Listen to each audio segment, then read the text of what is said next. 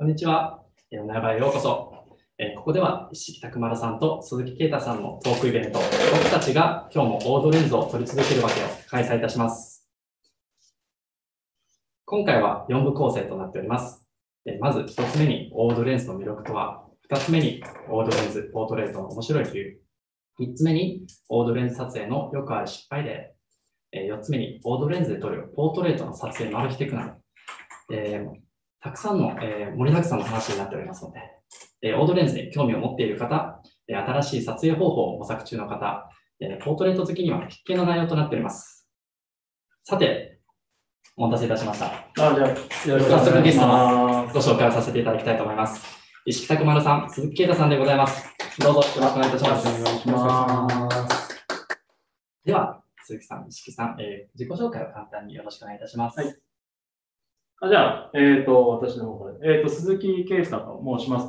えっ、と、ツイッターや SNS は、えっ、と、アーバンという名前で、えー活動していますけれども、えっ、と、私はですね、まあ、オールドレンズを用いて、ポートレートだったり、家族写真を主に撮ってるんですけども、えっ、と、カメラとか、レンズメーカーのちょっと講師をやらせていただくこととか、あとはですね、あのスライド書いてありますけれども、えっ、と、原稿者さんのフォトテクニックデジタルで、えっ、と、オールドレンズのすすめという、まあ、季節ぐらいでね、4回ぐらい連載してるんですけども、それを、まあ、中心に、えっ、と、雑誌媒体で、えっ、と、シックスウェブでの、あの、記事書きとかをやってで、あとは、その、フィルムも、あの、メインで使ってました。今回フィルム機能なんですけども、えっ、と、そのカメラの鈴木さんとか、散歩カメラさんと一緒に、えっ、と、フィルム散歩という、あの、フィルムワークショップやってたりですね、えー、っていうのを、あの、まあちょっと精力的にやらせていただいてこれ使ってるカメラとかレンズとかも、あ、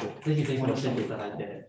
えっ、と、僕、デジタルはですね、そのスライドに載ってますけれども、えっ、と、ソニーの α7-2 ですね。はい、もう3を買い買い逃して、だいぶ経ちましたけど、7-2を使ってます。はい。で、えっ、と、レンズはですね、えっ、と、ライカの、そこに載ってますけど、ズミルックスの50の1.4は、今、このフィルムのライカについてますけど、はい。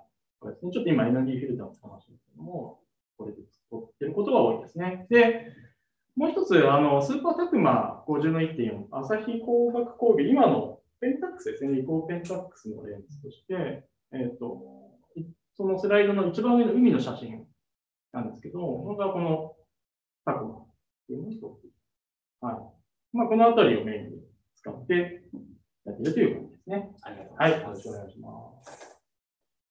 では、鈴木石木さん、よろしくお願いいたします。はい。あ、写真家の石木拓磨です。よろしくお願いします。えっ、と、私はですね、あの、主にライカのカメラを使ってて、えっ、と、作品撮りをよくやってるんですけれど、えっ、と、まあ、あの、原稿者から出版されてるんですけど、原宿ストリートポートレートっていう、えっ、と、はい、昔から原宿で外国人のこう、スナップのポートレートを撮ってて、えっ、と、これもすべてライカであのオールドレンズで撮影しています。まあ、こういう活動を中心に、えーとまあ、カメラ雑誌の、まあ、ライカなんですけれど、こういう本に出筆、作品を掲載させてもらったり、あとは、あの、ファットフォトさんではそうになってるんですけど、あのオールドレンズクラブっていう、まあ、あのファットフォトでは珍しい講座を、まあ、あの2年目に今、突入してやらせてもらってます。ありがとうございます。まあ、あとは仕事ではあのファッション系の撮影とか、あとはファッションの学校で撮影の講師をやったりとか、まあ、今いろいろと活動させてもらっております。はい、で僕は、えっ、と、まあ、オールドレンズ始めて、まあ、すぐライカが好きになって、ライカを買いまして、まあ、鈴木もと同じなんですけど、このズミルックス、この初期型っていうう、貴婦人っていう、ね、あだ名がある。めちゃくちゃいいんですよね。はい、これにも魅了されちゃって。いや、間違いないですよ、それは。あの今出てる作例のこうフレアが入ったうん。写真が好きなんですけれど、うんまあ、全部ズミルックスで撮影しています。これライカはいくつですか？これは M 級って言って、やっぱ古いデジタルなんですよ。またそれが CCD センサーではい、ちょっと濃厚な写りをして、もうこれから結構離れられないというか、今今の新しいライカは、あの、しあの新しいね、センサー、シーモスのやつなんですけれど、はい。まあ綺麗に映るのはそっちなんですけど、まあ、個性がある写りは結構この CCD っていう、まあ、扱いづらいうん。センサーなんですけど、まあ、それがまた味になるというか、僕は結構好きですね。ありがとうございます。はい。ご紹介いただきましてありがとうございました。えっと石木さんは健康者にてオードレンズのライフにごされてますし、はい同じく原宿ストリートポートレートでも著書されています。あと、ハトと写真教室でもあのご説明があったかのように、オードレンズクラブの講師も務めていらっしゃったりとか、あと鈴木さんはオードレンズの連載記事もされていたりとか、そうですねフィルム散歩も主催されていたり、さまざまな活動をされていらっしゃると思うんですけども、私、ちょっと一つ、お二人の共通点というものをちょっと、あの見つけまして、二人ともオードレンズで撮られている。うん。鈴木さん、簡単に、簡単にでもいいんですけども、オードレンズってそもそも何でしょう？あ えっ、と、まあ、あれなんですよね、定義はいろいろあるとは思うんですけども、はい。僕らの中では、まあ、フィルムカメラ、こういったフィルムカメラの時代に使っていたレンズを、はい今回、まあ、オールドレンズというふうに定義出してもらって、話を進めさせてもらえればなと。何年前とかになるんですかね。いや、もう古いですよね。ライカまも、あ、ライカで5、60年前がそうですよね。だこのし、辺とか、60年前ですね、1950年、40年後とか、うん、面白いですね。70年ぐらいですね。すごいですね。これ、オードレンズとしては、まあ、大体何年ぐらい撮られてるんですか、お二人とも。まあ。僕はあのカメラ始めて1年後に突入しちゃったんで、まあ、まあ、約9年ぐらいかな、うん9年経つぐらいかな。はい。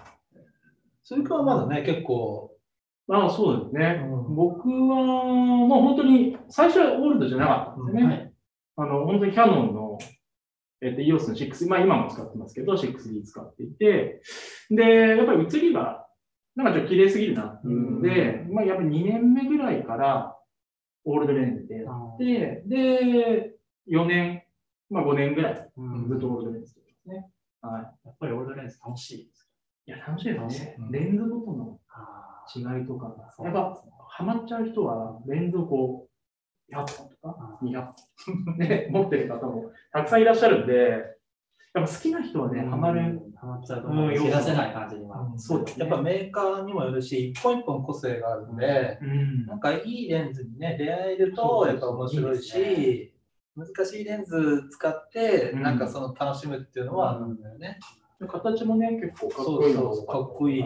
やっぱね、男性ってこういうカメラのさ、造形美みたいな、ぱかっこいいなと思ったんですよかっねこ。いいですよね。確かに。うん、やっぱ先輩、諸先輩という方のライカとかこう、フィルムカメラ持ってる姿を見て、やっぱ憧れて、で、本もね、見ると、やっぱりうん僕はきっかけやっぱこう、本見て、いいなと思った作品が、ほとんどライカだったっていうね。そうそう、知らず知らずやっぱ洗脳されてたんですけど。さん魅力ありますね。まあうん撮ってみて、まあ、見た目もかっこいいですけれども、うん撮ってみるとまた普通の現こう今あるレンズとはまた違った特徴とかに惹かれて、それがオードレンズの、まあ、お二人の魅力にもなるかと思うんですけれども、今からちょっとあのお二人の作例も見せながら、はいオードレンズの魅力についてあのお話語っていただければと思います。はい。はい、まずあの鈴木さん、石木さんが考えるオードレンズの魅力とは、まず、さんよろしくお願いいたします。はい。えーっと、まあ、魅力、さっきもちょっとお話ししたけど、えーっと、この弱点なんですね、今画面に出てる写真もそうなんですけども、オールドレンズってこう、いわゆる周差と言われるレンズの弱点の部分が前面に出ちゃう。うん、っていうのを、えーっと、まあ、表現の一手段として出してあげて、それを、あのー作品に変えていく。っていうのが、僕は、面白いな。うんなんか、後から加工で載せるとかじゃなくて、その場のこう、あの、まあ、ポートレーターなんで、それさんとやりとりの中とかから、こう、まあ、編み出していくというか、はい、見せていくっていうのがいいかな。ありがとうございます。はい。はい。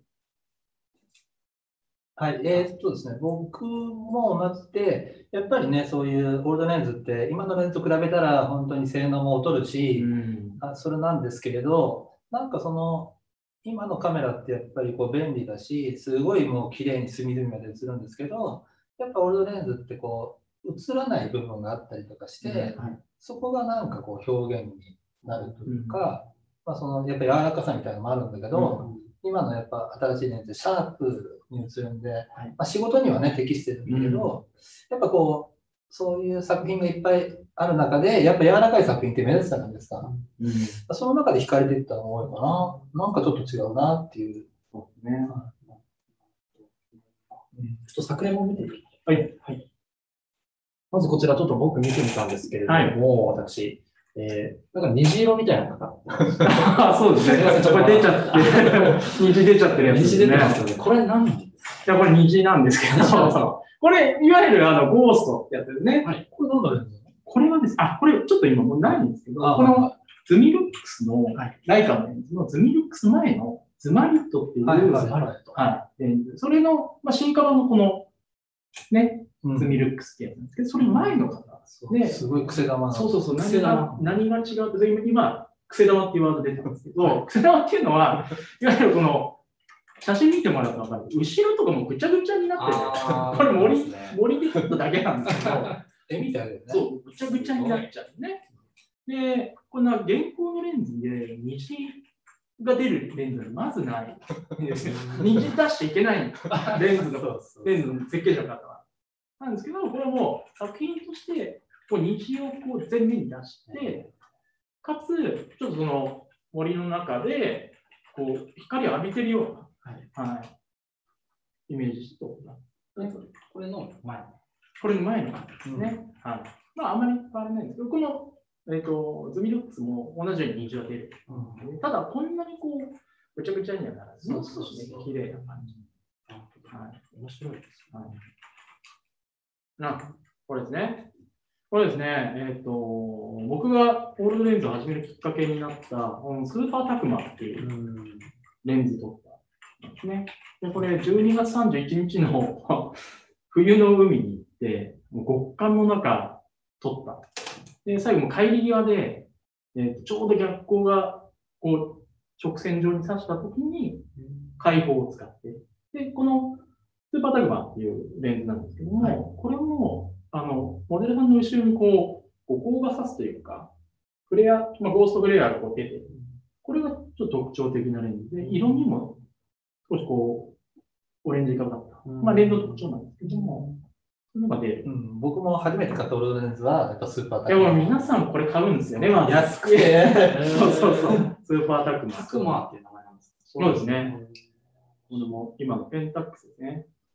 スーパーでも、ね、オールドレンズ始める人は入りやすいよマ。うん、ね。入りやすいですね。もう癖もすごいあるし、そうそうそうそう面白い絵が撮れるんで、うんすぐね、うん使いこなしやすいですし、まだ安いっていう今人気あるよね。人気あるんですね。そう YouTube でもね、あの、はいちょっと大輔さんが宣伝して、すごい。うんそう、このスーパータクマとヘリオスっていうのが、まあ、オールドレンズの双璧、うん入門用の双璧かなと思ってますね。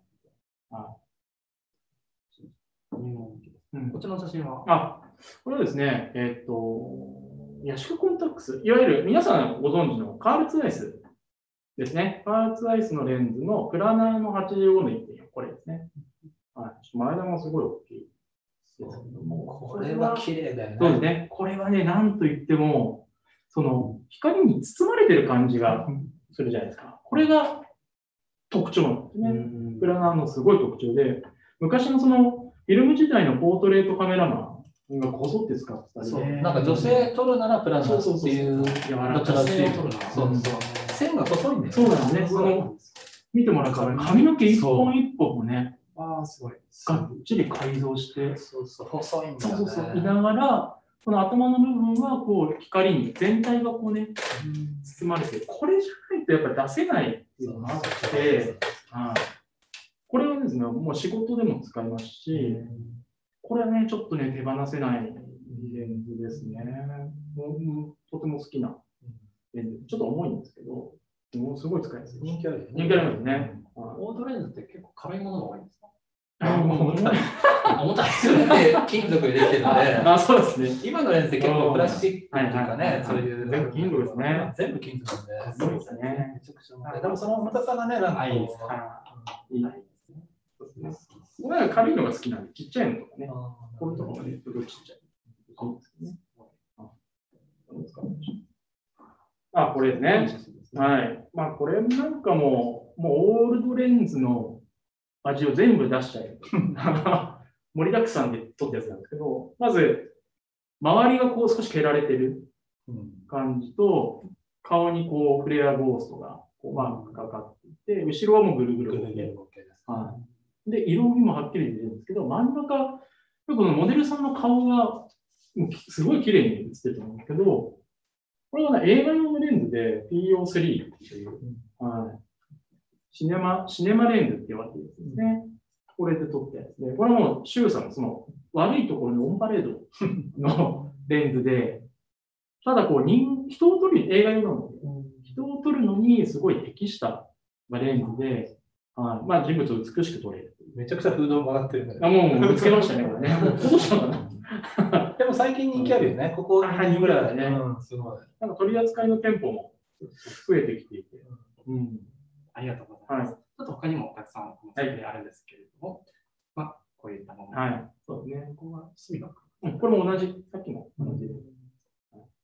これもすごく素あ、それも、これは絞って撮ったんで、オールド感があんまりない。そう、オールドレンズって、こう、なんかあんまり映らないっていう印象もあるんですけど、うん実を言うと、ちゃんとしっかり撮れば、今のレンズに負けないぐらいしっかり映るんそうだよ。ね。そうそう。それも面白さですね。うん。うんだから別に劣ってるわけではないっていうね。そのこのファッションチックにちょっと撮ったやつですね。これもプラなんですね、これで。これもまあしっかり映るっていうところ、このギャップをちょっと見せたくて持ってきましたね。はい。はい。ありがとうございました。はい。はい。では、いしまあ僕もやっぱりこう、まあボケ、こう前ボケね、これう、ん左桜なんですけど、まあやっぱりこう、とろけるようなこう描写が好きで、うんこれもライカのズミルックスっていう、これ、はい、これ撮ってますね。はい。うんやっぱりね、ボケがすごい綺麗なね。うんそうですよね。はい。で、これはちょっとね、まあやっぱりフレ、逆光なんでちょっとフレアがポッてこう、う頭の上に入ってるんですけど、こういうなんか微妙な光僕結構好きで、うん、なんか普通に簡単なこうそういうフレアも入んないで撮るとなんか普通っぽくなるんだけど、なんかちょっとこう光が差し込める、うんやっぱこの逆光で撮ればそうなるんだけど、なんかちょっとそういう逆光がちょっと神々しく撮れたりとか、なんかそういう女性もうん。こうなんかちょっとこう目立たせるような、はい。女性ポートレートとね、相性うん、すごいですね。はいこれも、あのね、これ多分ズミクロンで撮ってるんですけれど、うん。やっぱりすごいしっかり映るんですね、本当に。インクルのいくつ？これはね、えっと、35ミリ。これ,、うん、これでなくて、これ、あの、ファースト、これはね、ファーストのやつなんでね。ね。うん、8枚玉っていうう、んちょっとこう、人気のある、シャープに映る。はい。そうなんですよ。これも、これはズミルックスですね。まあ、なんかズミルックスでこう、花とか入れたくなると、ちょっとやっぱ前ボケ作りたくなるまあよくやるんですけど、うん。はいもう逆光ですね。うんまあちょっとこう、やっぱり僕もオールドレンズにハマったきっかけっていうのは、こうやっぱフレアとか、う。うんんそういうのが結構やっぱこう綺麗に入るんで、もちろん今のレンズもフレアとか入るんですけど、やっぱり今のレンズってコーティングがすごい素晴らしいんで、ね、そういう逆光とかフレアを抑えるそうそう傾向そうが。そううんうん。でもこう逆光でちょっと解像感が薄れて、こう表現がなんかこうちょっと映画っぽいってういうかね、ん、コントラストがね、少し。そうそうそうそう。だからやっぱりいい光見つけてはちょっと逆光で撮ったりとか、うんまあ、毎回逆光撮ってるわけではないんですけど、はい。やっぱね、開放。そうねやっぱオールドレンズって開放がうんなんかそのレンズの個性を生かすっていう話があって、まあ、とりあえず開放で撮ったり、まあ大変なんですけど僕ね。もね、大体解放使いますね。うんなんか鈴木君は結構開放。僕はそうですね。結構、あの、一番やっぱ特徴が出るんですよ。はい解放が。一番悪いところいっぱい出るんで、悪いところいっぱい出して先にしようっていうのが、コンセプトでもあるあるんで。高野さんそう、僕ね、逆に言うと、あのね、やっぱ絞って F2.8 が結構好きで、うん。まあ、なんでかっていうと、あのまあ、僕さっき言ったこう原宿の一般の人たち撮ってることが多いんで、やっぱ基本的には失敗できないんで、まあ被写体はしっかり写して、背景は柔らかくぼかしたいってなると、やっぱりその2.8が結構ベストなんですよね。まあ、寄りの時は F2 とかも撮るんだけど、やっぱ全身撮って背景もちょっとぼかしたいっていう時は、まあ、意外と 50mm の F2.8 ってすごい撮りやすくて、ボケ感をそうそうそうそう改造する。っていう。だから僕はほとんど2.8が多いですね。うん。うん。2.8でも結構フレアとか出ます出る出る出る。あ、ううん。そうそうそう。まあ、ピントもやっぱ合いやすいしね。あ、そうですね。まあ、今ね、ミラーレスカメラ、僕もあのニコンの Z とかソニー使うときは、まあ、やっぱね、あのライブビューで拡大してピントが合わせられるんで、うんそういうときはね、思い切ってそうこう撮れるけど、まあ、ライカみたいなレンジファインダーだと、あやっぱかなり勝負になるんで、解放うん。F、ね、1.4とかだと。ー使ってる機種によっても、そうそうそうそ選べる F 値が結構違うんですよ。それがポイントかもしれう。ないね。お二人撮られてるのって、ポートレートっていうか、モデルさんを撮影したのが多い。印象があるんですけれども、なんかポートレートがやっぱりいいオードレストリーだ。うんやっぱり理由とかってあるんですかね？まあ、えっ、と、まあ何回も出てきてますね。まあやばい。女性の場合は柔らかさですかね。うん、やっぱオールドレンズの相性がいいのは。うんちょっとそこら辺についてはいお伺いしていきましょうか。では、ここでオードレンズとポートレート面白い理由についてちょっとお伺いしてみたいなと思います。では、鈴木さん。はいえっ、と、まあ、ポートレートって結構、こう、なんていうんですかね。えっ、と、そのタイミングのものも結構あるんですよ。そのシーンで、その時じゃないと撮れる。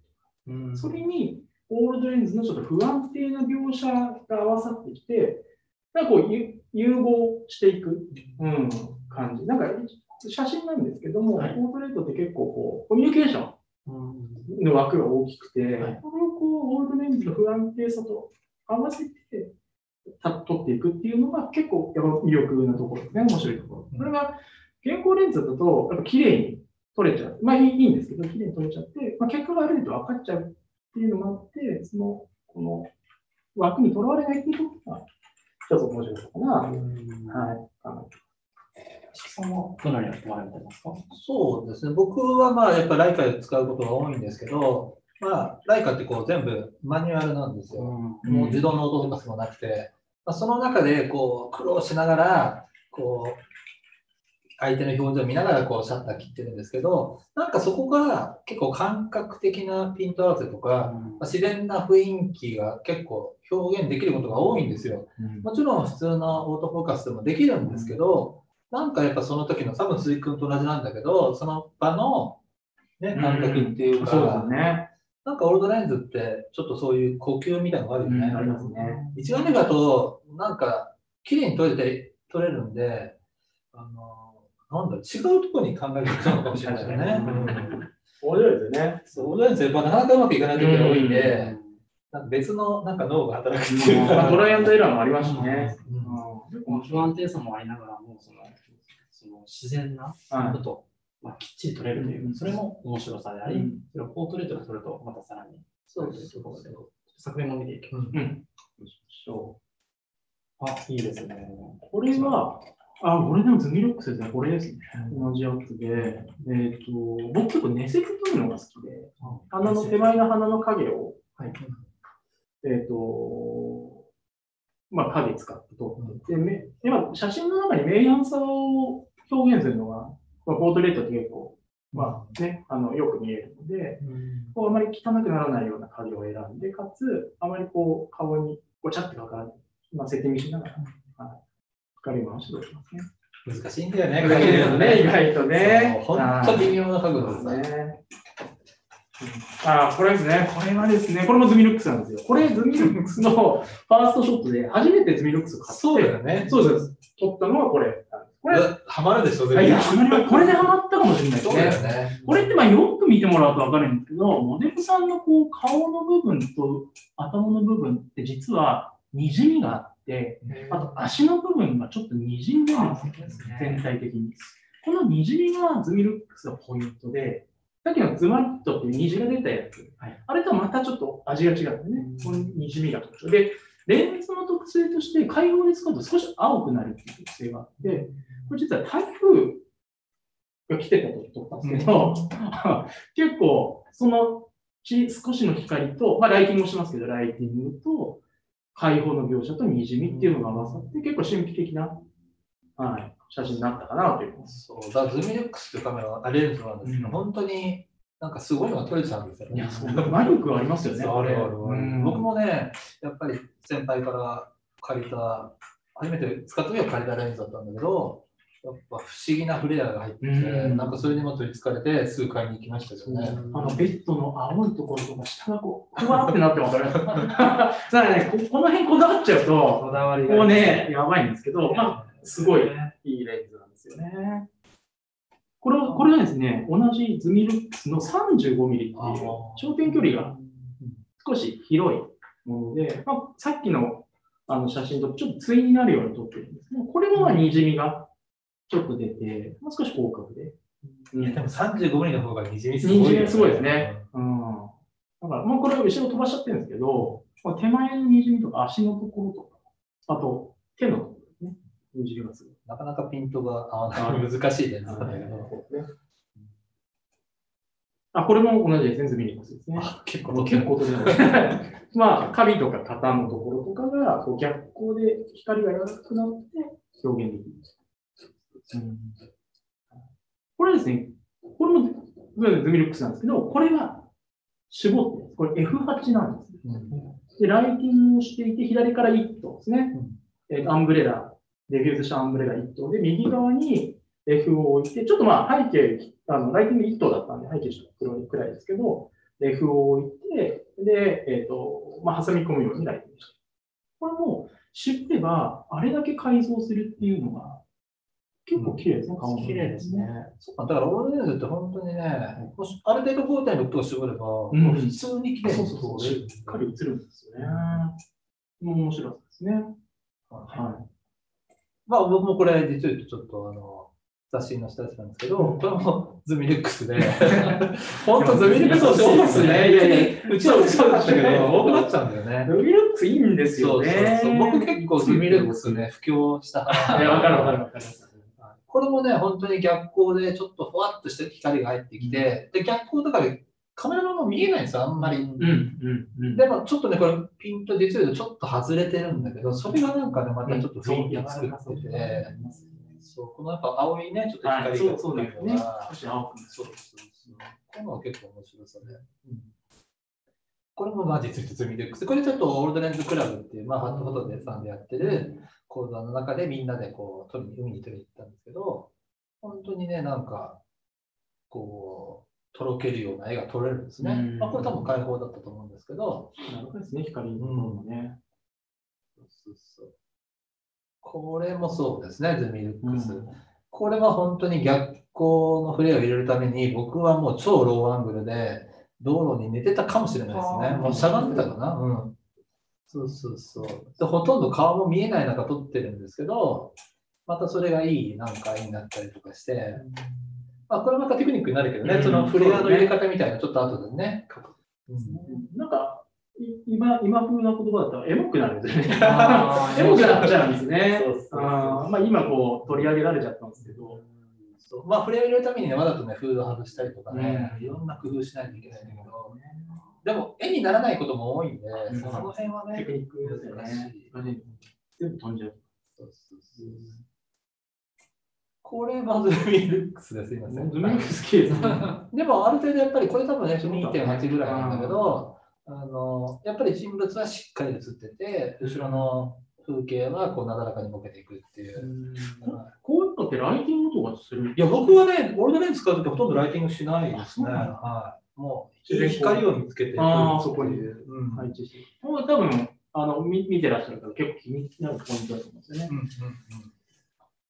うんうんこういうこういうのはね、スタジオだから、まあ、これはスタジオの中のこういうライトを使って撮ってるんですけど、これについてこの時はあの普通のあの一眼レフも使ってて、うん。両方使ったんですよね。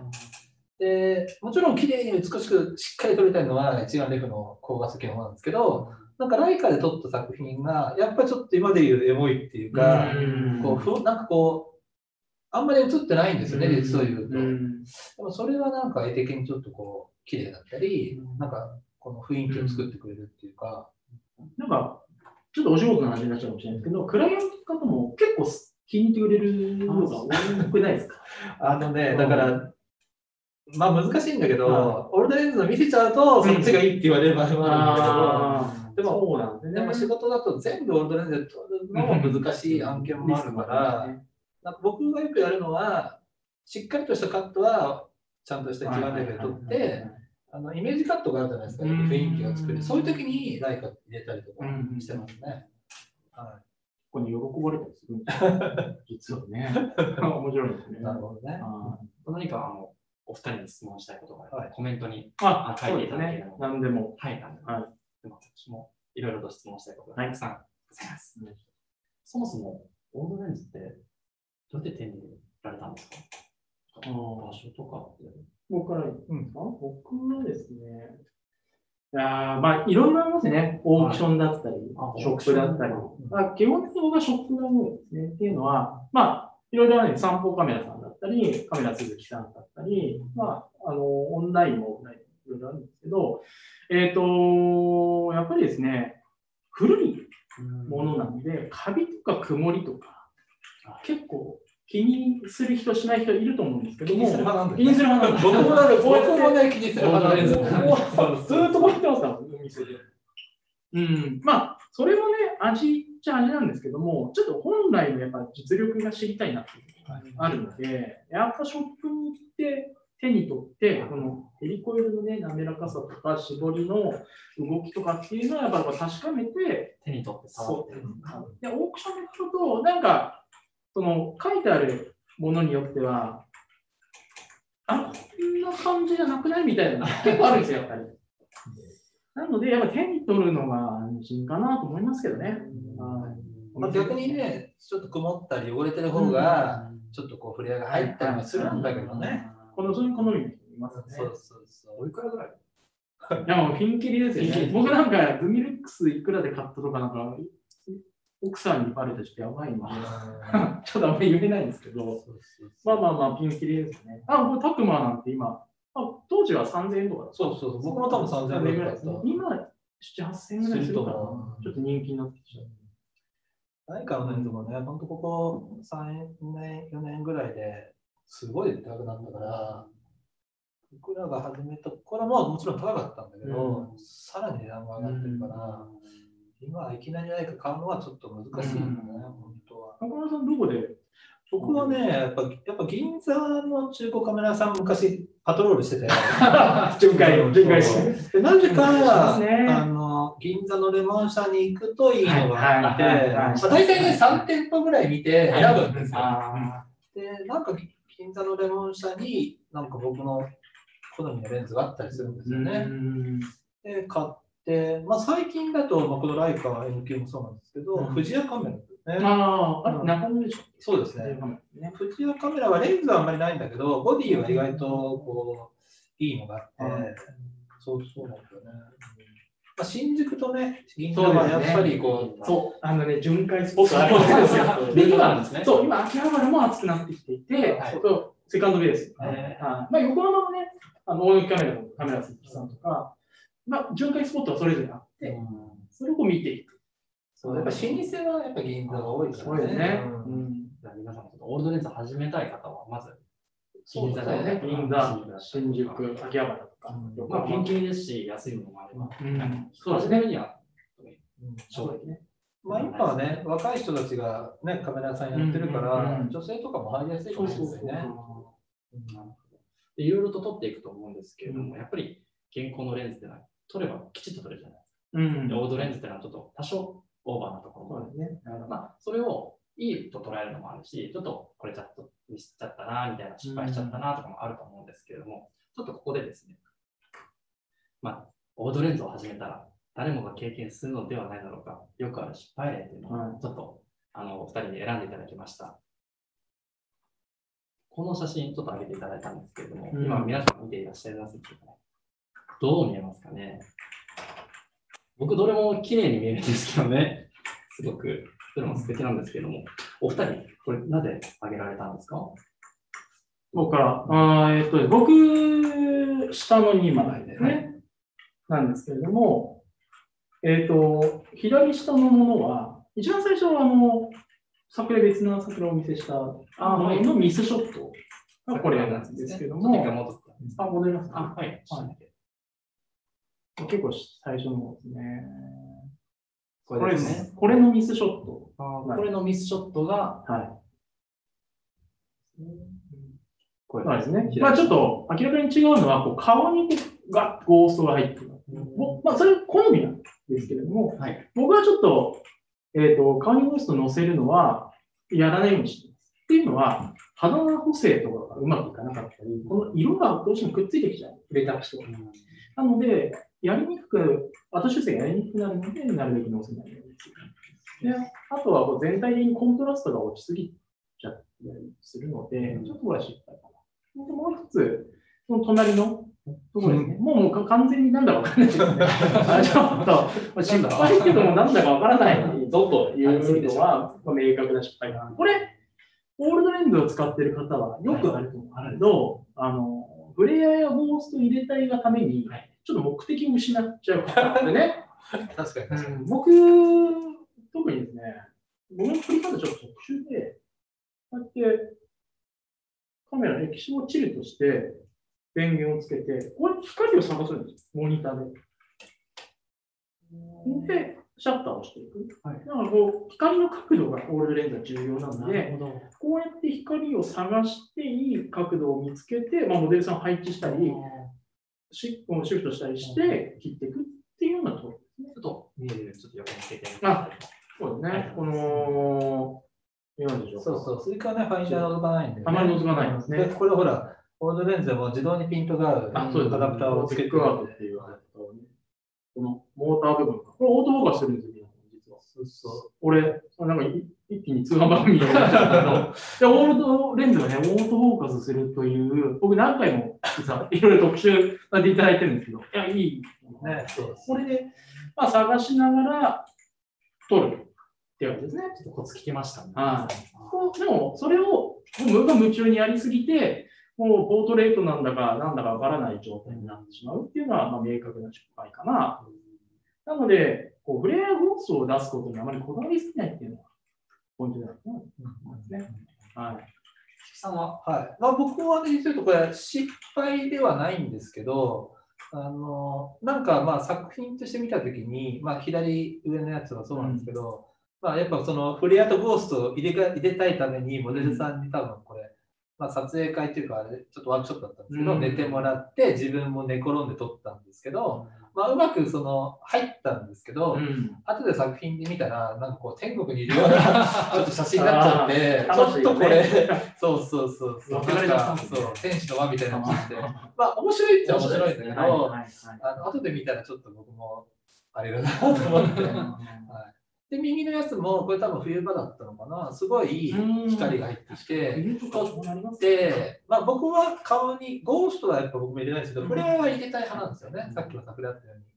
うん、まあ入れたんですけど、なんかこうやっぱ下にゴーストがやっぱいっぱい出てきて、なんかこうテレパシーを発信してるみたいな写真になっちゃって、なんかちょっとこう神秘的な写真になりがちみたいな、こう、そうだ、見失っちゃうよね。そうですね。そう。それも面白いところなんですけど、あと、そうそう、ゴーストもね、僕も昔、ズミズミクロの前結構入ってたんですよ。あーやっぱり虹色の。はい。でもほら、あの結構ゴミみたいなの映るんで、ですすね。ね。ああれ消すのが大変で、僕もだからちょっとゴーストは極力避けようかなっていう。今って何人ぐらいの方に見ていただいてるんでしょあ、YouTube ですか？う ?YouTube です。今現在100名があ、視聴者ありがとうございます。ありがとうございます。ありがとうございますたくさん来てますあそうなんですちょっと後でね、はいあそうなんですね Q&A も見てますので、時間をはい。はい。進めていきましょうか。今日はね、ちょっとコロナでね、ちょっと離れ気そう味で仲いいですよ、ここ。はいマスクもつもうなんかけて。距離置けって言われて、そうそうそう距離置けない。本当はもっと離れてもうね、もう近づかないぐらいなんですけど、すごいちょっと上げていただきましたポイントで、これは、えー、一つ目カレアあ、カメラの角度でフレアの量を調節中。う。ん。これ、石木さんですよね。これ、角度を変えるんですかまあ本当に、本当に角度によってすごいこう、フレアがね、入り方も違うし、あとはその、あの、鈴木君のも話したんですけど、やっぱこう、太陽をモデルさんの頭でこう隠すんだけど、そのちょっと漏れるところをこう探したりとか、そういうモデルさんで調整するっていうね。うん。それにはやっぱりカメラマンが動いたりしないといけないし、モデルさんのね、顔の向き考えたりとかしないといけないし、まあ、そんなコツかもしれないですね。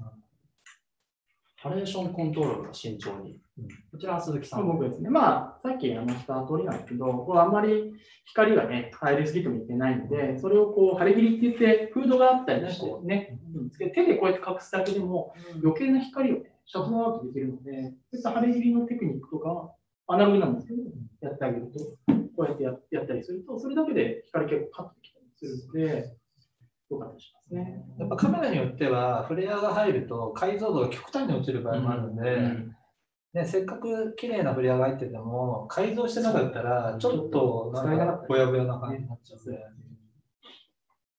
顔にフレアゴーストを乗せる。これはまあ一つ目のですね。逆光でコントラストをレフトのライティング。まあ必ず僕は逆光で顔をこうしたいので、はい。あの左下はもうちょっとレフ当ててるんですよ、あれ実は。だから顔はちょっと明るい、逆光なのに明るい。でコントロールは結構やりますね。僕はね、そんなに、オールレンズ撮る場合はそんなに使わないんですよ、うん F1 とか。まあ、むしろ顔少し暗くても、うん僕は後でフォトショップでちょっと明るくしたりとか、まあ、極端に明るくはしないんですけど、うんこう自然な感じで上げたりとかはしてますね。まあ、やっぱライカだと、あこうやっぱ全部マニュアルなんで、そうですよね。なかなか他にやる余裕がないとねそうそうそう。僕はオートフォーカスなんで、レフとまあ、そうですアシスタント入れてやったりします。始めたいという方にはこれ結構気をつけていただくと、うんもうもうバッチシ撮れますね。ね、やってもらっていく感じだと思いますね。フレアはちょっとね、入れた写真は、まあ、撮るとね、また面白そうだね。ねうんじゃあ次に、はい。いきます。はい。ここだけ、そうですね。ここまで見ていただいた方だけの限定に、はい。特別にテクニックを、はい。オートレンズで撮るとき、ポートレート撮影するときのマル秘テクニック、こちら、ちょっとお二人にお伺いしたいなと思うんですけど、お二人ちょっと何か共通して使われているものがあるんですよね。ああ、今お持ちですか？フィルターですね。ああ、フィルターそうですね。僕は2種フィルター、2種なんですね。可変 ND フィルター。これフィルムなんですけど、よく使ってます。これちょっと後で紹介できるかな。はい、僕もそうですね、やっぱりこう、日産の可変フィルター。はい、まあ、同じ同じものですね。はい。可変フィルターって何ですか？これ、光の量をこのレバーで入り方を調整できるんですね。だから、何に使うかというと、開放を使うとき。でも光、開放すると明るさを、明るくなっちゃうんで、それをこの ND フィルターで遮断してあげる。ということで使いますね。こうね、調整できるんですよね。こういうように調整すで、る。これ、日産の商品なんですけど、こう小さくて、オールレンズってかなりこう、径が小さいんですよ。それにもつけられるんで、便利です便利なんですよ。こう石井さんに挙げていただきました。はい。デジタル撮影で白撮りする条件、先ほど真っ白になったですそうです。ね。ND フィルターがあれば絵を作れる。はい。まあ、左側のやつが ND フィルターをあえて使わないで撮った開放撮影なんですけど、あのーまあ、やっぱりオールレンズらしいっちゃオールレンズらしいんですけどね、こう、白飛びして、こう、花もなんかこうとろけるような。でも、まあ、やっぱりもうちょっとしっかりとした絵が撮りたいなという時に、まあ、この ND フィルター、可変 ND フィルター、あ ND フィルターつけると、まあ、2枚目の写真ですね、うん真ん中の。はい。まあ、これくらいしっかり光量を調整できて、まあ、人物も花もしっかり写って、白撮りもしなく撮れるんですよ。でもまあ、このままだとちょっと単に暗いだけかなってなるんで、まあ、3枚目の写真のように、まあ、うまく、その、光の当たる場所と、まあ、あとそのパソコンでね、後でやっぱ現像レタッチで、まあ、顔をちょっと明るくしたりとか、まあ、どうしてもこれ、可変 ND フィルター使うと、ちょっと思ったよりも暗くなるんで、うん。まあ、その辺は、あの、後で調整もできるんで、まあ、うまく組み合わせると、やっぱこう、普段撮れないような絵が撮れるんですよね。開放でこれだけ天気が良くて、絞り、あのね、シャッタースピードもね、遅い中で、これくらいの絵が撮れるんで、うんまあ、表現は広がるかなっていう。うんで、多分その次のシーンが、まあ、こういった、はい。これ本当にまあ、今年、寒桜ですね。だからまあ、はいコロナ始まる前の 2月末か3月頭ぐらいにたまたま取れたんですけど、モデルさんに桜を。そうですね。モデルさんがちょっとお茶目だったんで、えそんな感じで。これ、うんピットはってやってないやつですよね、桜は。あ、これは落ちてるやつをやってくれました。そうですねそう。そう優しいです。なかなかね、介護撮影でこれを撮るの結構難しいんですよ。かなり天気も良かったんで。確かに。うん、そうそれ必須なんですよね。そうそうそう。ND がね。で白飛びっていうのは別に悪くはなくて、うん僕はあえてちょっとこう、白飛びの部分も入れてもちょっと、さっき言ってたね、明暗さっていうか。ついて結構おしゃれかなとやっぱ思って。はい。まあ、これは、えっと、ちょっと、メンズの、あの、潜在撮影撮ってる時に、最後ちょっと遊んで、ND フィルターで撮ったんですけれど、えっと、これも本当スローシャッターで撮ってて、左側のシャッタースピードいくらだっけ ?8 分の1か。で、あの、ストロボを焚いてるんですよ。そうすると左側みたいになるんです。はいこれね、えっと、これフォトナエア1使って撮ってます。で、これに可変 ND フィルター、まあ、ズミ、このズミルックスを、えっと、使ってるんですけれど、こう撮ると、まあ、スローシャッターで、こう2枚目、3枚目の絵が撮れるんですよね。はい。で、その時に、まあ、ちょっとこう、カメラを、ちょっと振ってるんですね、動かして。うん。そうすると、こういうなんか面白い絵が撮れるっていう。まあ、普段、こういうのあんまりやらないんだけど、ちょっと遊んでってみたら面白くて、でたまたまこの日すごい強風で、なんかすごい絵になっちゃったんですけど、まあこういうのも面白いかなっていう、まあ失敗気味なんだけど、あの、予想してた絵ではなかったんです、実を言うと。うんでもそれがまた面白いなっていう、なんか荒々しい写真になって。はい。これはですね、ちょっと実を言うとオールドレンズではなくて、まあ僕の仕事の中で、えっと、フィルターを使って撮影してて、これ実を言うとこのハーフ ND フィルターって使うん。ってて、はい、これ、あの、グラデーションになってるんですよ。はい、こういうふうに。上の方にこう ND がかかってて、こういう海の空とか、こう、すごい飛びやすいんですね、やっぱ明るくて。で、こういう雲とかを出すときに、こういうハーフ ND フィルターは絶対必須ですね。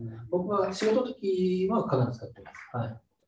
海に行くと、やっぱ空が映んなくて、なんか白っちゃけた場合が多いんで、まあ、オールドレンズは同じなんですけど、使えるときはこういうハーフ ND フィルターを持っていってます。ストロボであ、これそうそう、モノブロック書いてます。書いてますはいね。どうしてもやっぱフィルター使うと、こう、あの、多少暗くなるんで、そこはちょっとストロボで起こしてあげたりとかしてますね。次のも、そうですね、ハーフ ND フィルターで、うん。やっぱこれ、海、海、本当にね、飛んじゃうんう飛んじゃうんで、この微妙な雲の流れとか出てくるだけでだいぶ絵が違うんで、使ってますね。はいこれがちょっとお仕事撮影ですね、これも。これ、あの、渋谷ツタヤさんで、えっ、と、ちょっと、年賀状と、なんだっけ、あ、ブックカバうんー。の写真だったんですよ。で、初め撮った時に左側で、もうすごい天気悪くて、なんか空も、これ多少フォトショップで空起こしたんですけど、あの、やっぱ初め撮った時こんな感じだったんですね。で、その後にこれやばいと思って、すぐ ND フィルターつけて撮影して、右側。で、確保したのが右側なんですよ。これやっぱりその、雲が出てくるんですね。で、こう、コントラストっていうか、やっぱこう、絵がパキッとしてくるんで、なんかこういう条件が悪い時とか、あの、その角度を変えられない時があるんですよ。やっぱこう、背景がもう決まってるとか、そういう時はその中で撮るしかないんで、こういうフィルターを使うと、すごい助かりました。これ使わないと本当にもう合成するしかないなっていう。はい。助けられましそうですね。あ、これ僕ですね。これですね、僕、フィルムカメラよく使うんですけども、フィルムカメラって ND フィルターかなりポートレート相性がいいです。で、なぜかというと、フィルムカメラって皆さんこうデジタルカメラってシャッタースピード8000分の1とか4000分の1なんですね。1000分の1なんですよ。なので。全然こう3段、4段ぐらい、さあのーシャッタースピードが違う。で、ただ開放も使いたいなってなった時に、もう、あの、エネルギーフィルターなしで、シャッタースピードマックスで、で、僕の好きなポートラっていう ISO400 のフィルムを使って、エネルギーフィルター外してると、右側みたいに、もう完全に飛んじゃうんですよね。あと5段オーバー。まあ、5段オーバーでフィルムでもかなり厳しいですね。それが、左側2種のフィルターを使って、えっ、と、可変 ND マックスですね。えっ、と、ND32 まで上げてあげると、自分の好きなフィルムで、かつ開放で屋外で撮れるっていうのがポイントですね。全然違うと思う。ボケもいいかそうです。で、これ ND をつけることで、まあ、簡単に言ったらデジタルに近づける。じゃあ制約がなくなるんですね。っていうのはいいポイントの一つかな。これおすすめですね。はい。はい。で、これもですね、ND フィルターを使った、あのーポイントの撮影になります。左側が通常の撮影ですね。まあ、今回ですね、ナチュラ1600っていう、もう廃売になってしまったフィルムなんですけど、ISO1600 の、まあ、夜間用のフィルムを使って撮影します。これ何がいいかっていうと、柔らかいんです、非常に。なんか、まあ、女性向きというか、まあ、ポートラも女性向きなんですけど、まあ、柔らかい。で、かつ、まあ、通常の撮り方をすると、ストロボ1頭であのぐらいの明るさになります。はい。で、まあ、ナチュラを使いながら、可変 ND をマックスにして、シャッタースピードを15分の1にして、ストロボを焚いて撮ったのが右側です。これがですね、どうやって撮ってるかというと、こうやってる。プラスね動かすね。動かして。で、ちょうどいいところでシャッターを切る。はい、これフィルムですよ。どちらもフィルム。冬だとかなり勝負だ。かなり勝負。で、あの、まあ、デジタルで、こう、光量とか、まあ、ある程度見て、で、そうだね。フィルムに変えて、で、シンクロ経路を挿して、同調させて、シャッターを切る。そうすると、まあ、ポートレートってなかなか動きが出ない。んですけど、まあ、動きのあるようなポートレートは結構簡単に撮れる。それはやっぱり、この ND フィルターで、えっ、と、シャッタースピードを制限してあげるっていう。か、うん、これがシャッタースピードを超えてしまうと、やっぱり白飛びとかね、なってしまうので、ND フィルターで光量を抑えることで、こういった絵が撮れますよという紹介ですね。これデジタルでは全然いけます普通だったら絞るしかないもんね。そうなんですよ。うん絞るしかない。限界がある、絞る。これ16とかまでしかないので、それ以上暗くならない。で絞りし絞りすぎることで、解像度が落ちたり、解析があったり、解像度が落ちたりするので、やはりベストな F 値で、えっ、と、まあ、シャッタースピードを稼いで、ブラシで撮るっていうのが、このテクニックの一つですね。アイロニーフィルターが必要になります。はい。はい。でですね、これ、にじみレンズの作り方と、これ全部にじみ、あ、3枚あります。左側は、左側と真ん中は同じです。一番右はまた別のにじみですね。で、よく見てもらえると、あの、ミモザなんですけど、上の方がちょっと滲んでるのがはい。僕、にじみ大好きなんで、にじませたいんですけど、で真ん中はですね、あの、ピアスとかが、こう、縦にピンって光ってますね。はい。全体的にこう光ってる。あれはですね、これレンズに、まあ、こうやって油をね、つけて、簡単ににじみをこう、ちょっと汚すんですよね、レンズをね。まあ、じゃあ、拭けば、すぐ綺麗になるので、それで撮る。で、デジタルだから何枚でも撮れるので、にじみの角度とかを見て撮る。で、あの真ん中だっていうのは、シュッってこう、縦にやってるので、ラインが、光のラインが縦に出ます。はい、で、一番右は、もうレンズ自体が紙です。うんはい。でカビとか曇りを生かした使い方。だから、ジャンクで転がってるレンズとかを買う、オールドレンズを安く買うっていうのが面白さになるかな。面白いですねはい。それからフィルターつけては油つければいいじゃん。そうなんですね。あそうそうそう。で、直接じゃなくていいです、全然。あのね、その、なんだっけ、グリあのね、グリースみたいな、あそうですね。ワセリンか、ワセリンつけてね、やる人は、まあ、フィルターつけてね。ああ、拭けるように。そうそう。もうフィルターフィルターつけてないから。直接ですね。っていう感じのテクニックありがとうございます。あ、こちらで、はい。はい。Q&A です。はい。あの、コメントで質問いただいた方に、あの、お答えお答えいただきたいということで。あ、はい。す何かピックアップをさせて、残りー、9、6分9でございます。はい。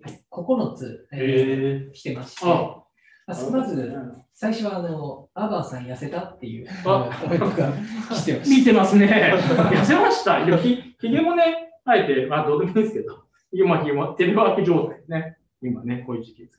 はい。痩せました。ありがとうございまありがとうございます。僕は寺内先生に太りましたね、この間ね、ズームでね。す。見てるなぁ。それでは、えー、2つ目が、えー、オールドレンズを使うにはミラーレスが良いのですか、うんというご質問ですね。はい。まあ、ミラーレスだよね。そうですね。うんっていうのは、まあ、さっき言った、あのフレアムがゴーストを出すのであれば、こうやって探せるので、やっぱミラーレスがいいですね。一眼レフだと、このフランジバックという関係でレンズがつかなかったりするんですよね。まあ、ライカみたいな、こう、まあ、今のライカはね、実を言うとライブビュー撮影ができるので、なんですけど、古いライカはライブビュー撮影ができないんで、やっぱりこう、勘でしかないんですよね。まあ、その良さもあるんだけど、まあ、始めるんだったら、やっぱミラーレスがいいですよね。僕らがオルデンズ始めた頃は、まだね、そのソニーのアルファ7がなかったんで、うんねそう昔はね、やっぱかなりこう大変だったかもしれないね、本当ね。見やすくておすすめですね。中古だと7、8万ぐらい買えるじゃないですか、ね。もっと安いかね。はありがとうございます。それでは、えー、3番目が、開放もいいけど、レンズによっての美味しい絞りとかも聞いてみたい。い。ああ。ズミルックスどうですか？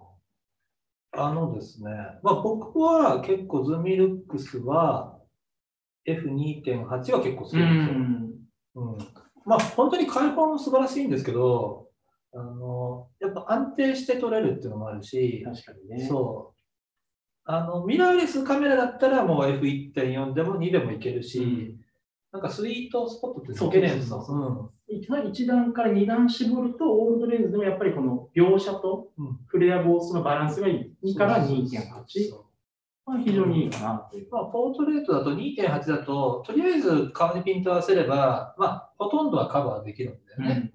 背景も綺麗に残るし。そうですね。2.8はおすすめですそうね。そうそう。それでは、えー続いてのご質問。えーフレアが目的の場合、はい太陽位置が高い日中、曇りの日、雨の日はどう撮影されるの？か、ああ、わかります、それ。やっぱね、冬の時期は一番ね、低くていいんだけど、太陽位置がやっぱり低いのがベストですけど、実は太陽位置が高くてもフレアゴーストが出るレンズもあるんですよ。これズミルックスとか、ズあのさっきの、えー、とズマリットとかは太陽位置が高くても、タクマは低くないと出ないんですね。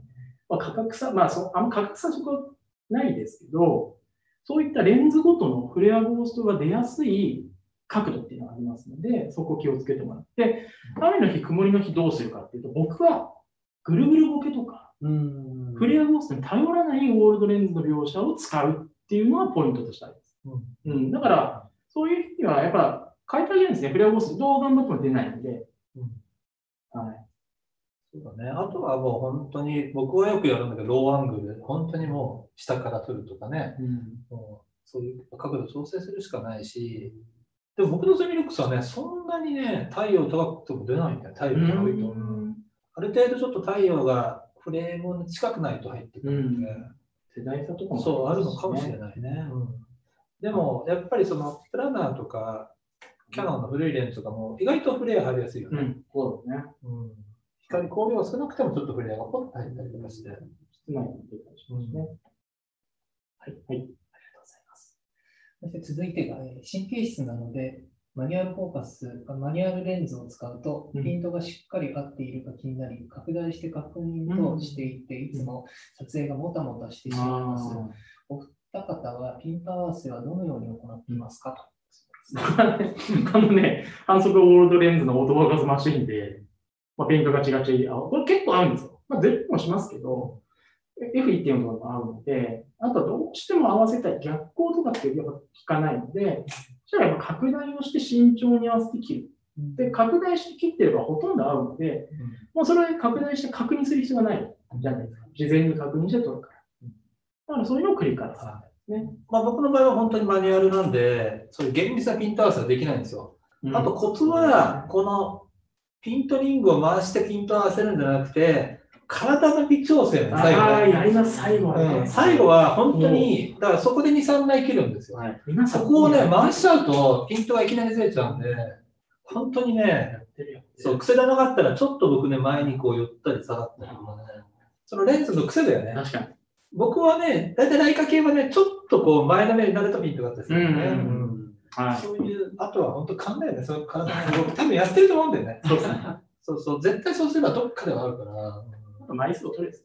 そうですね。でも、本当にちょっと外れてても、それがまた良かったりもするんで、そんなにオールドレンズだったらガチピンにこだわらなくても僕はそんなにいいかなって最近思い始めた。はい。昔は結構僕もガチピン派だったんだけど、ですね。最近なんか外れてるのいいなっていう。むしろちょっと外れてくれないかなぐらいの。はい。ありがとうございます。そして続いて、同じオールドレンズをフィルムカメラとデジタルカメラで使用した場合、違いはありますか、あ、じゃあ僕ですね。えっ、と、かなりあります。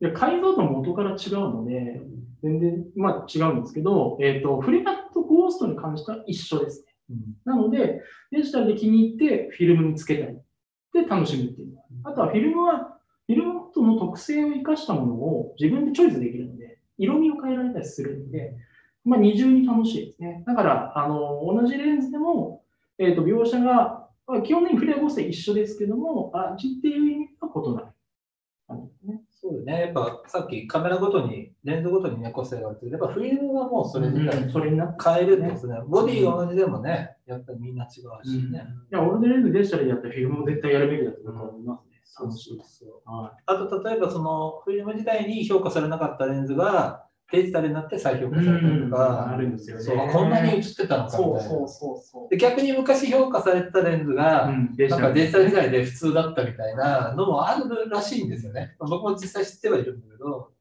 だから2つ使うのはね、一番面白いですね。2つ使えるから。うんあといくつぐらいですか？ね。えーあと3つですね。うん。はい。大丈夫はい、こちらじゃましょう。あではしま、す。えー、ここに3つですね。フレアを入れる場合は、アンダーで撮らずになるべく完成に近い明るさで撮りますか？あ、いい質問ですけど、難しいですね、これは。難しいね。どうします？うーん。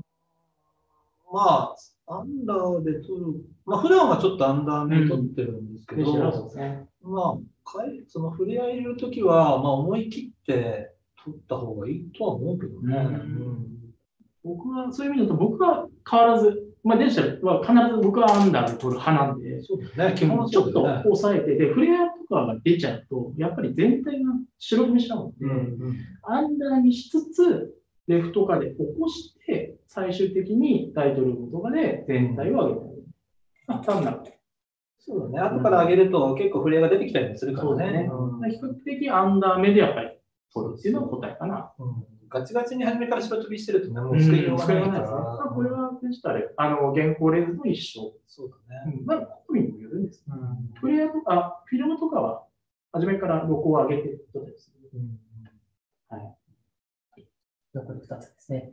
えー TTL 速攻じゃないカメラだと、ND フィルター使って露出はどう計算できるのかなあー、えっ、と、一番いいのは、単体露出系を使うことですね。うん。あのー露出系内蔵とかしてない場合は、えっ、と、やっぱり ND をかけてしまうと分からなくなってしまうんですね。で、ND って、可変、特に可変だと何段階にも ND、あの、暗さの加減が選べるので、やっぱりそれは頭の中で計算したりとか、露出系でこうちゃんと測って、ND いくつに設定して取る。ちょっとめんどくさいんですけど、そういう工程を踏むべきだと僕は思います。うんできれば、露出系が入ったフィルムカメラとかを使って ND を使った方が楽です。うんだから露出にこだわるんだったら、絶対に僕は露出系を使うべきだ。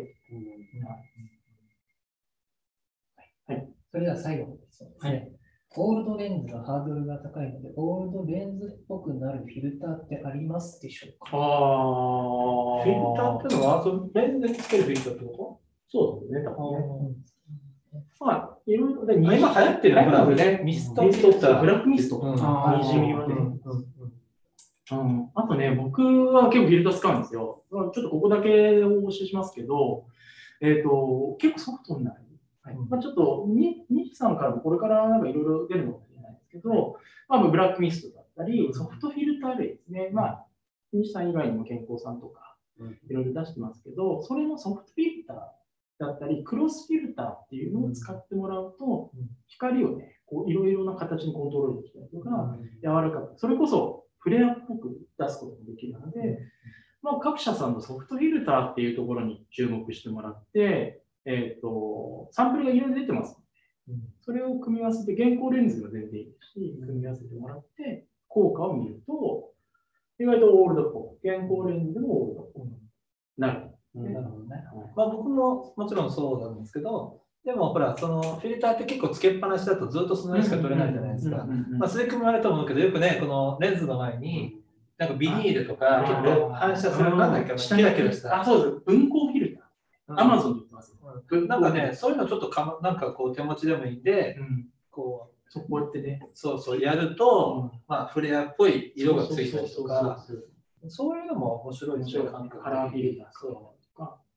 いろいろチャレンジしてみるのがね、うん一番面白いと思いますね。うんだからオールドレンズにこだわらず、いろいろとね、そういったフィルターを使ったり、2種の ND もそうですし、いろいろかけてあげることで、オールド健康につつもある面白いです。いろんな質問に答えていただきました。ありがとうございます。はい、ありがとうございます。最初はあの魅力から始まったんですけども、最後もかなりマニアックな話いやー、でしたまあ、熱くなっちゃいますね。熱くなっちゃいますね熱くなっちゃいますよね。まあ、もっと終わんないけどね、普通いや、そうだね。1時間じゃ語り尽くせないぐらい。2時間、3時間は。はい、いやもうずっと話してたね。ありがとうございました。はい。でこれにて僕たちが今日もオールドレンズを取り続けるわけトークショーを、えー終了いたします。えー、しきさん、ありがとうございました。ありがとうございます。ありがとうございました。